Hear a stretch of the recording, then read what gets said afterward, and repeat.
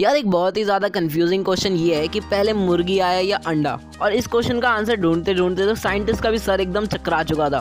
क्योंकि ये क्वेश्चन खुद ही एक कन्फ्यूज़न है। क्योंकि इस क्वेश्चन से दो क्वेश्चन बन रहे हैं कि पहले मुर्गी आए या फिर उसका अंडा? और दूसरा क्वेश्चन ये बन रहा है कि पहले मुर्गी आए या फिर अंडा? वो अंडा किसी भी चीज़ का हो सकता है। तो इस वीडियो को बिल्कुल एंड तक देखना ताकि आप लोगों को ये पता चल जाए कि पहले मुर्गी आई या अंडा। और अगर आप लोग मेरे चैनल पे नए हैं तो उस लाल वाले सब्सक्राइब बटन को अभी के अभी दबा दो और मेरे वीडियो को दे दो एक थम्स अप चलिए शुरू करते हैं।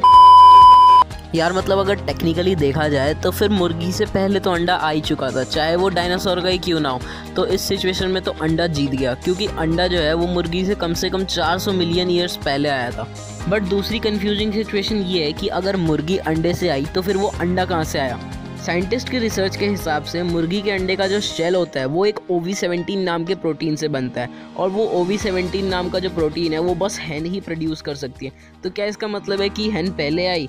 मतलब एक मुर्गी पहले आई अंडे से, लेकिन अगर मुर्गी अंडे से आई तो फिर वो अंडा कहाँ से आया? और अगर अंडा पहले आया तो फिर वो ओ वी सेवनटीन प्रोटीन उसको कहाँ से मिला? क्योंकि देखो ओ वी सेवेंटीन जो है, वो कहीं से तो आया है, लेकिन कहाँ से आया है, वो जानते हैं। ये सब कुछ बस एवोल्यूशन की वजह से हुआ है। एवोल्यूशन जो है वो डीएनए में कुछ चेंजेस लाता है बहुत धीरे धीरे क्योंकि एवोल्यूशन एक बहुत ही ज़्यादा स्लो प्रोसेस है और इसको होने में बहुत टाइम लगता है। जैसे कि हम इंसान बंदर से वैसे ये जो मुर्गी है वो एक आर्क्योप्ट्रेक्स नाम के एक डायनासोर स्पीशीज से इवॉल्व होके बनी है।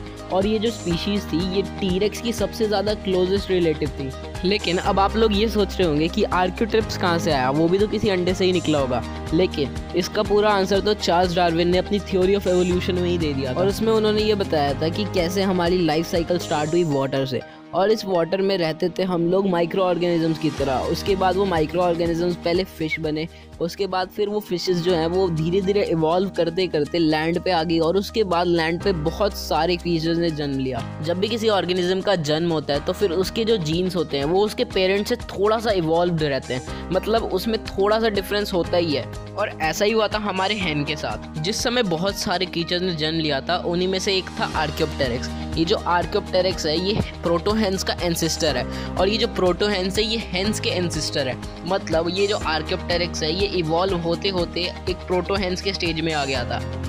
और जो आज की मुर्गियाँ हैं वो तो उड़ सकती नहीं है तो फिर इसलिए उन्हें पाल के रखा जाता है। और ये जो महंस को पालने वाली बात आई है ये करीब करीब आठ हज़ार साल पुरानी और आज की मुर्गियों का जो डीएनए है वो रेड जंगल फॉल नाम की एक बर्ड की स्पीशीज से 71 से 79 परसेंट तक मैच करता है। मतलब जो रेड जंगल फॉल है वो है उनका एंसिस्टर जिन्हें हम लोग इतने देर से प्रोटोहेंस बोलते आ रहे हैं। तो जब दो प्रोटोहेंस ने एक एग दिया तो उसमें से निकली एक मुर्गी जिसका डीएनए हमारे आज की मुर्गी से बिल्कुल मैच करता था। तो इस सिचुएशन में देखा जाए तो फिर अंडा जीत गया, क्योंकि वो जो मुर्गी निकली है, वो अंडे से ही निकली है।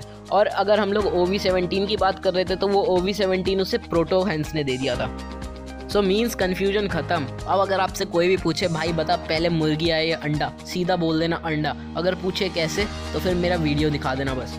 तो मीन्स जो हमारे पास दोनों सिचुएशन है, उन दोनों ही सिचुएशंस में अंडा जीत गया। यानी अंडा विंस एंड मुर्गी हार गई इस चीज़ में। आई होप गाइज़ आप लोगों को ये वीडियो पसंद आया होगा और ये मुर्गी अंडे का डाउट भी सॉल्व हो गया होगा। तो इस वीडियो को दे दो एक थम्स अप और मेरे चैनल को सब्सक्राइब कर लो और नोटिफिकेशन का घंटा भी दबा दो। तो मिलते हैं नेक्स्ट वीडियो में और तब तक के लिए हैप्पी न्यू ईयर